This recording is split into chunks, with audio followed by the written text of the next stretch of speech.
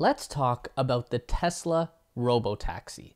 This is the bombshell idea that Elon dropped on us in 2019 that envisioned future Tesla vehicles as autonomous robot taxi cabs that spend their days moving people from point A to point B for a spectacularly low cost. Basically, an AI utopia in which Tesla becomes unimaginably valuable as a company. Elon Musk had originally told us that this revolution would arrive by the end of 2020. And clearly that didn't happen, which is fair. The year 2020 didn't exactly work out for anyone the way that they had planned. But that doesn't mean that the idea is dead. It's just going to come as a gradual change instead of flipping a switch. And there have been signals this whole time that this change is coming. Some of them obvious and some more subtle. So today we're tracking the progress of the Tesla Robotaxi and charting the course for this network into the future. Let's get going.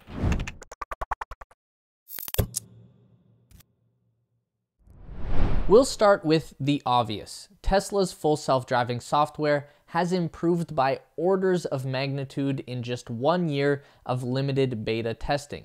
And now that limited test group is about to explode over the coming weeks. As of right now, at least, Elon's plan is to start rolling out the new version 10.2 of the FSD beta to the top percentile of safety scored drivers on Friday, October 8th and he wants to do this rollout at the pace of about 1,000 new users per day. That means by the end of the week, we could have seven times more users than we have today. It's a very steep upward curve in the number of self-driving cars that will be on the city streets of America. When we first saw the beta version of Tesla's auto steer on city streets feature, it was really cool to watch a car steer itself around 90 degree right hand turns and make unprotected lefts through intersections. And on its own, the system looked like it worked great. But once other drivers came into the mix, everything kind of broke down, and the Tesla got very hesitant, and the human driver pretty much had to take over and maneuver through the more difficult situations. Not a bad start, but still a lot of responsibility on the person behind the wheel. Over the months since then, and with every update to the software, we've been able to watch these self-driving abilities grow into a system that can in many cases take a person from point A to point B with no need for human intervention. And the fact that Tesla is confident enough to roll this beta version out to thousands and thousands of new users in a very short period of time shows just how much confidence they have that those zero intervention trips will become the norm. I can't believe they would be rolling this out if they still believed that the driver would have to be intervening more often than not. Because although there have been no collisions involved with the FSD beta test, we've seen some pretty scary near misses take place. So now we get to imagine the very near future. If in just one year of testing with 1,000 people, the software can go from kinda works but mostly fails to works amazing 90% of the time with just a few odd mistakes, then imagine how much faster we can go with orders of magnitude more testers on the road all across the United States providing an infinitely wider range of data. That first year was basically confined to the San Francisco Bay Area. Now we're going to New York City. We're going to small towns and rural areas. Everything that America has to offer. So we have to imagine that the time it's going to take the engineers at Tesla to solve that final 10% of the self-driving puzzle is not going to be very long. Maybe a year at the most, maybe six months. Either way, the software problem is about to be solved, and that means that we can move on to the robotaxi. From everything that we've seen with their vehicle design over the past couple of years, we know that Tesla is already building their cars with autonomy in mind. This is true of every Tesla vehicle, but we can see it particularly in the new Model S and Model X interior design. The Model S Plaid, it's a bizarre paradox of a car. the most exciting vehicle in the world to drive, but most people who try one find the driving experience to be kinda awkward thanks to the unusual steering control and total lack of levers and switches involved. The way Elon describes the functionality of the new cars is kind of like having an integrated robotic chauffeur. The car will just intuitively learn your habits over time and gradually reduce the amount of driver inputs down to zero. If you are the kind of person who drives to an office every day at the same time, then all you need to do is sit down and buckle your seatbelt, and the car will autonomously bring you to work with not one single button press. If you're the kind of person who is constantly on the go, then your Tesla will sync with your digital calendar and will always know where you're going and when. So again, point A to point B without a single driver input. And at some point in the not so distant future, the legal obligation for the driver to actively watch the road and keep their hands on the wheel will just kind of disappear. I mean, why else did Tesla put an overpowered AMD Ryzen processor and RDNA 2 GPU into the infotainment system of the new Model S and Model X? We've got PS5 level gaming capability in cars with extremely long range that will probably do 95% of their charging overnight in the owner's driveway and we know that the system does not need anywhere near that much power to play Cat Quest and Cuphead. So it's pretty obvious that Tesla has built this car today for a time when people will actually have the opportunity to kick back and play games in the front seat of their car while going about their daily activities at the same time. In my mind, that's Robotaxi version 0.5 when your own personal car starts to function more like a cab that moves you from point A to point B rather than a tool for you to move yourself around in. The capability to have your personal vehicle go out into the world and function as an autonomous ride hailing service for other people comes next. The real version 1 of the robotaxi.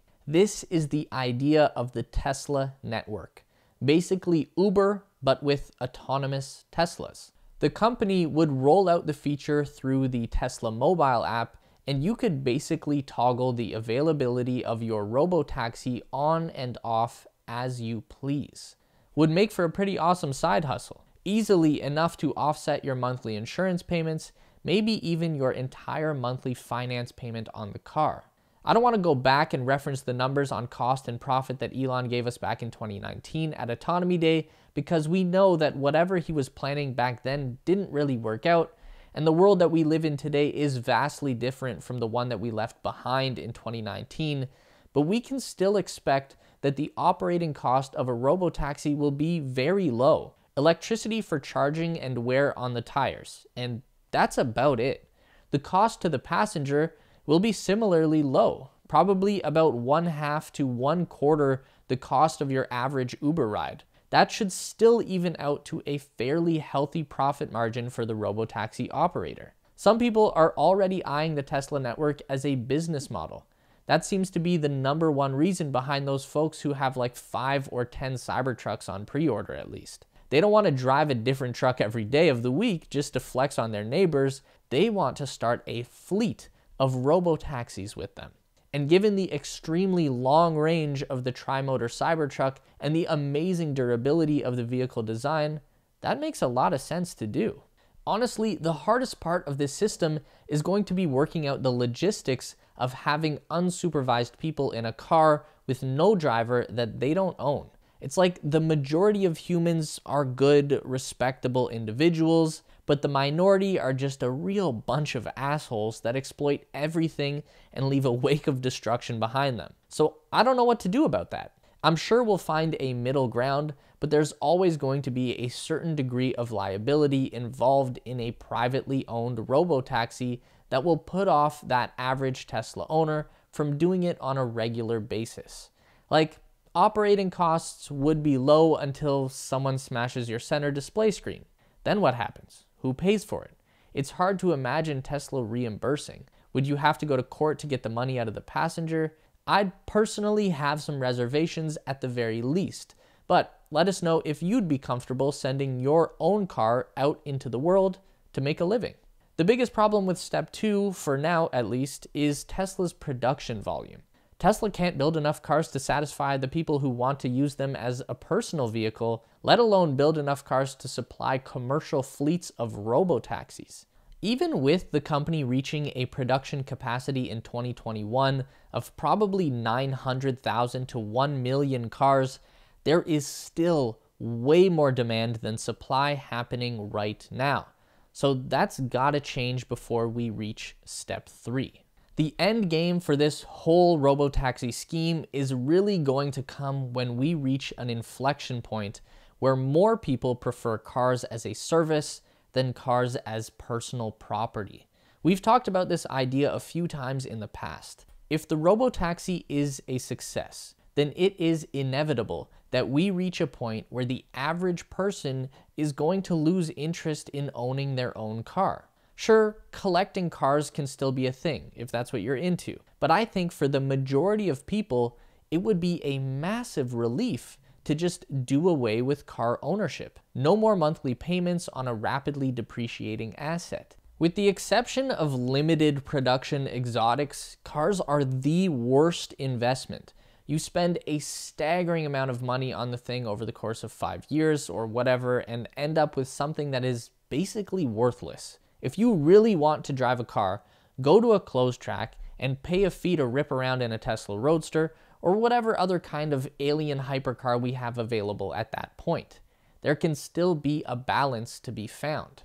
For this scenario to really take off, then we'll need Tesla to be producing a purpose built robotaxi vehicle. This might be that variation of the new Model 2 or Model Q or whatever you want to call that cheap Tesla that is coming in 2023 the one that Elon is saying might have no steering wheel or pedals. That might be an intermediate solution.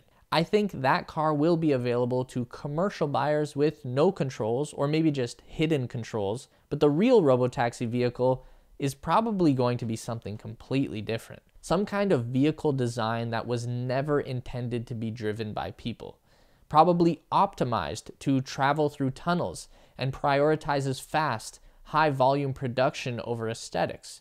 Because for this to ever really work, then we need a spectacular amount of these things available, enough that it actually becomes more convenient to hail a ride than own a car. That's not going to be easy to pull off, but when you really think about it, it does seem like a real possibility.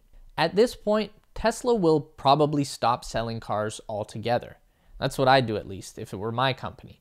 Why would I build a robo-taxi and sell it to you and let you make a ton of money off of it when I can just keep the car for myself and run my own robo-taxi network and keep making money from that car for a decade? The value of a car at that point is not the sum of its parts, it's the potential for earnings over a lifespan of probably 1 million miles. Even if you only make 30 cents per mile in profit, that's a $300,000 car. And if Tesla is building 20 million cars a year at that kind of value per car, then the total value of their annual production capacity comes out to some number that's so big it doesn't even fit on my calculator.